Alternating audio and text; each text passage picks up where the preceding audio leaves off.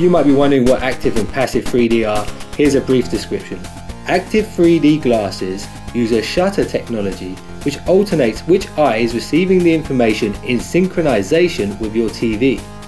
Passive 3D technology uses an interlaced image which is separated by your passive 3D glasses.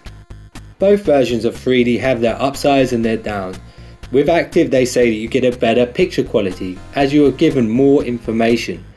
Passive technology however is catching up very quickly and although you might not have as many pixels on the screen, you don't have the problem of getting a headache from the constant flickering. Plus, passive glasses are a lot cheaper.